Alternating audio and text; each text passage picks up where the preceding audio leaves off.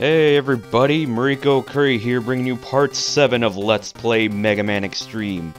In the last part, we went to back to Chill Penguin and Spark Mandrill stage to get a Heart Tank and the X-Buster upgrade.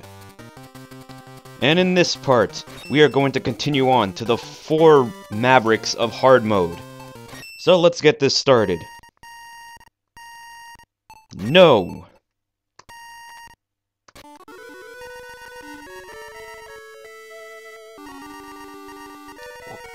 Where am I?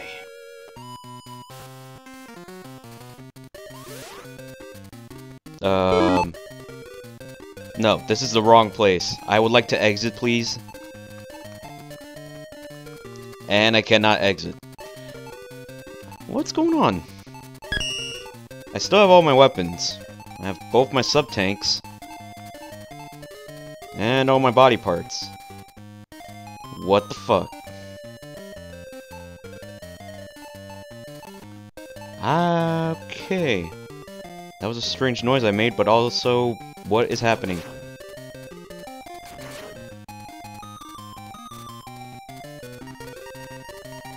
This place, it is familiar. Why am I here? Yeah, for some reason we're back in Highway Central. Or Central Highway. Either way, you it's still a highway. For some reason, we're back in at the first level of the of the whole entire game, the basic startup level, and we have all our upgrades and weapons, including our sub tanks and our heart tanks. Something's not right here. Eh, but what do I know?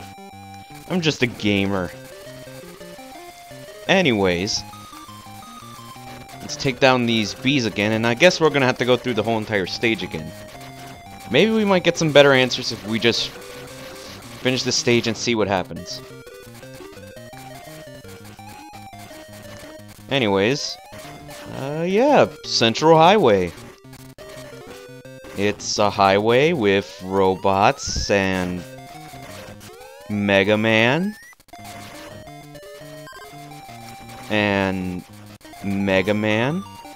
I I don't know. I don't know what to say right now because I mean, it's Central Highway. I pretty much it's just only for for me as a Let's Player or for any Let's Player that is. Central Highway is just for you to explain some details about the game and such, or just talk about what you're going to be doing throughout the Let's Play. So, and I already did. I already done that. So I don't know what to say right now. All I can say is Mega Man. But with upgrades! Anyways, blah blah blah, Vile's gonna kill you. Even though we're beefed up with powerful weapons.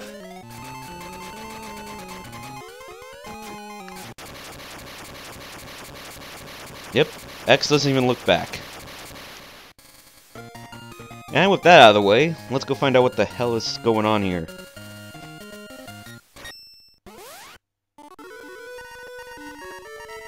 Zero, tell me. What's happening? The mother computer, which was restored, is now not working. I don't believe it. We found illegal access in the mother computer. Someone must have accessed the data secretly. That person has been re is the has been repro is the one that's been reproducing the fighting data of the past. In order to fix the mother computer, we will need to fight our enemies again in their data form. Zero. I'll do it. Okay, you handle this. Now look into who is behind this evil plan. Be sure to watch out. Alright, here we go. Back to the Matrix! Yeah, okay. So, I guess we just continue on. Alright then. Well, let's start this... Well, let's just start. Alright. Okay then. Well, I guess we'll consider that our transition to the next four Mavericks. Now, now that we defeated the four normal Mavericks from normal mode, I'm sorry, long day today. Now that we defeated the four Mavericks from normal mode, Chill Penguin, Spark Mandrill, Storm Eagle, and Flame Stag, we now have their weapons, uh, their items from their stages, and the sub-tanks. And, now that we have the upgrades, as in the helmet upgrade, the leg upgrade, the body upgrade, and, I believe, the Buster upgrade, we can now head on to the next four. Alright, so, here we have Wheel Gator, Magna Centipede, Armored Armadillo, and Morphing Moth. Now, unlike, uh... Now, the thing is, we are going to continue the transition of doing all these robots in order. Usually, uh, I would probably go by their weaknesses. Like, for example, we should actually be going after Armored Armadillo first. But seeing as we did the first four Mavericks in column order, I guess we should do the same for the next four. So, with that said, let's head on to New York City, or at least it looks like New York City. It looks more like Toronto. And face Wheelgator.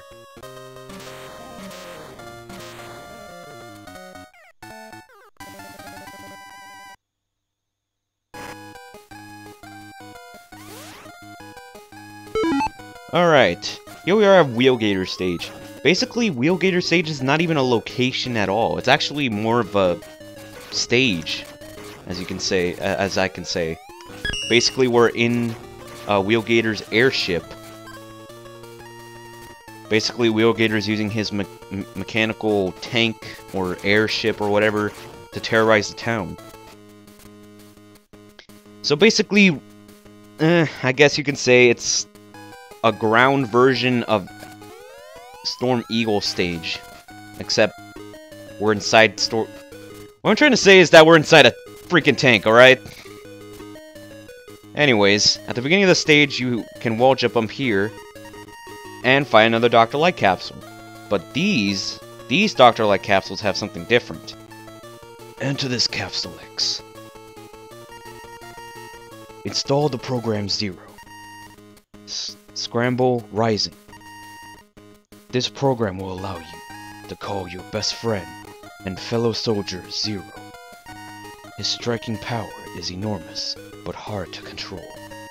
Perform this on enemies in the sky, and also it also works on bosses. Dr. Light, no! No! You do not break the fourth wall! There are no such thing as bosses. They are mavericks. And they are enemies. This is not a freaking video game. Alright, so after Dr. Light's breaking the fourth wall hour, you get we get introduced to the moving platforms back there. They were only in Mega Man X2, so that's why we haven't seen them yet, seeing as we didn't face... Well, there was, uh... Flame Stag, but I don't think we used those platforms. And now we get to transition from Sunset? In our ride armor. Now, I like the... Now, even though I think they both have the same amount of screen time, I like the arm uh, using the ride armor better in this stage. And what did I just punch?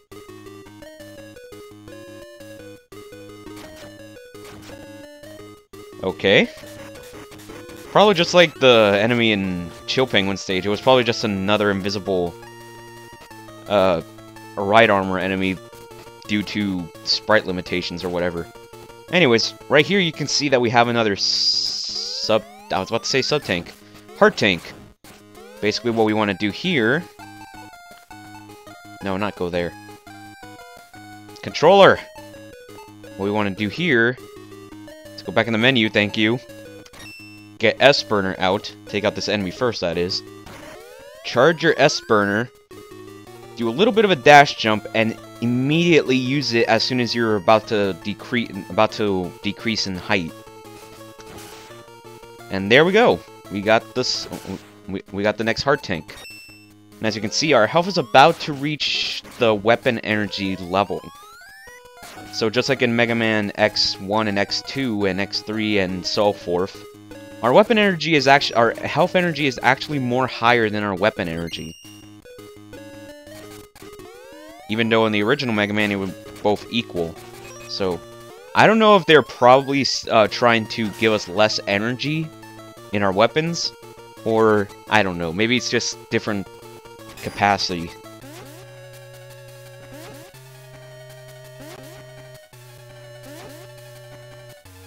And here we get to fa face the famous Clown Knight, Gamil. He, just like Zane, seeing as we're on extreme mode, he doesn't have any dialogue. But he did have dialogue in hard mode and I guess a little bit in, no uh, in normal mode. But basically what he does is just throw star boomerangs at you. And eventually, if you leave him alive long enough, he will get in some sort of magic carpet ride or something. I'm trying to see if I can show it off, but it, he's not he's not responding well. So, just die. Ooh, nice health. Ah, of course, it's always one pixel from perfect.